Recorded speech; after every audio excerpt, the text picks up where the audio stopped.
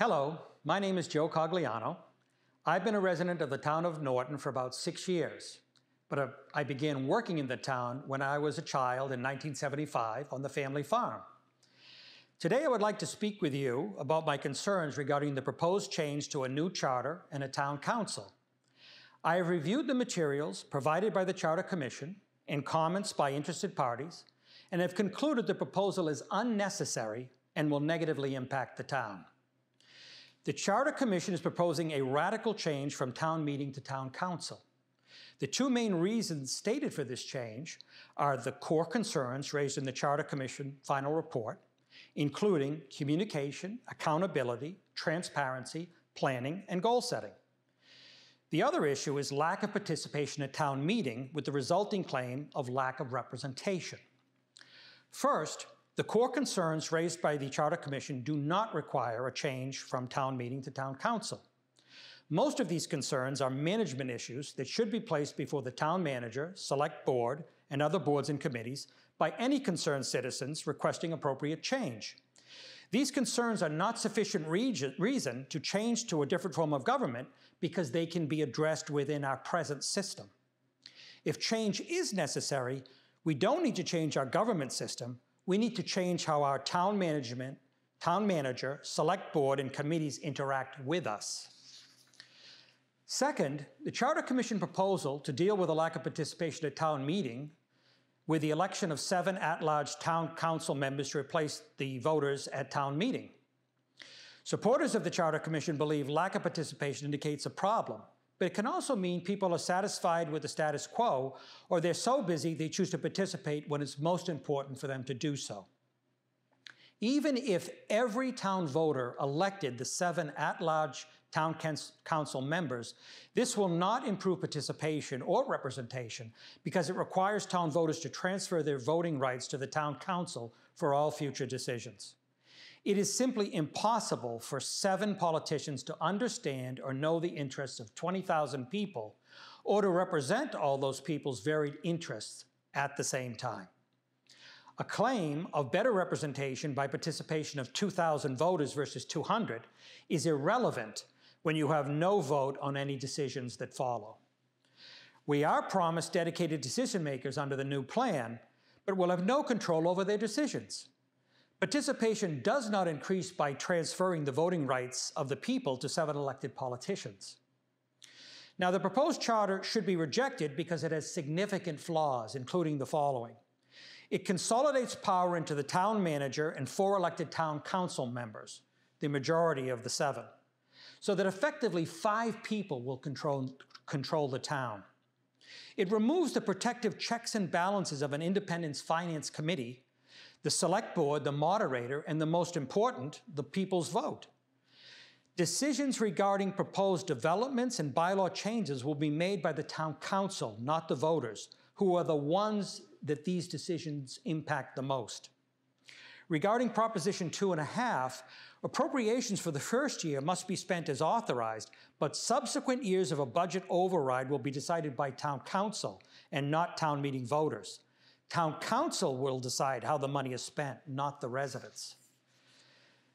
It also prevents line items from being increased on budgets, will, which will reduce options and create more problems. If the town manager wanted to, to decrease the police budget, the town council could not increase this item.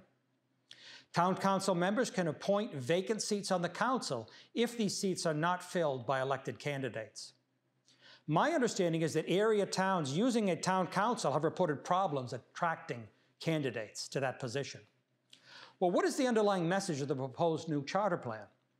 Basically, it's that town meeting matters are complex, difficult, time consuming, and town meeting is a burden, and it's not fair that everybody can't go. So just transfer your voting rights to town council, and they will take care of everything for you. I'm sorry, I don't believe that. Personally, I have faith in you to make the best decisions for yourself and your family, and not in seven elected politicians. The actual impacts of the proposal are opposite of what is being claimed. They include power consolidation, a transfer of voting rights which reduces participation and increases disenfranchisement, removal of pr- protective checks and balances, and ultimately, all of this will allow special interests to move the town in any direction they desire. Well, why maintain town meeting? Even if you believe a town council is a good idea, the flaws in this plan are too serious to accept. If you are unhappy with the present system, giving the town manager more power and transferring your voting rights to seven politicians is certainly not the answer. With town meeting, people can choose to participate without giving up their rights. The core concerns identified by the Charter Commission can be addressed in our present form of government. We can make appropriate changes to address people's concerns and still keep our rights with town meeting. Transferring our voting rights to seven politicians won't solve our problems. It will create a new set of problems and may even magnify existing problems. What is the decision that you are being asked to make?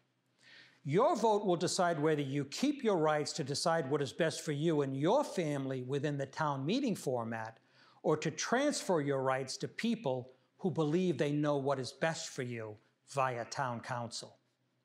In my opinion, we must all come together to stop this well meaning but flawed proposal. Democrats, Republicans, independents, long term residents, and newcomers, we can accept and respect our differences but come together to protect our rights. This is our common ground. This is where we can stand together. We don't have to assume that this proposal is the future. This is a mistake and it's an error for us to go down this path. I believe we are all equal at town meeting. We are not equal under the biases of seven elected politicians.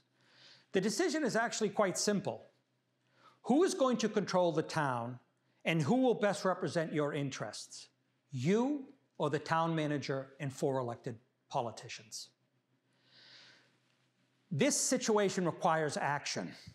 Please vote no on question one on Saturday, April 10th. I believe we can improve town government and keep town meeting. Please speak with family members and friends about why it's important to support town meeting. You have to stand up to protect your rights now. We all have to do this. We must act to protect our rights, our families, our neighborhoods, the town, and to do what's necessary to protect future generations. My fear is that all that is necessary for a loss of freedom is for good people to do nothing. Now is the time to stand and protect your rights. Now is the time for all of us to stand together. You can learn more at savenortontownmeeting.com. Thank you for your time.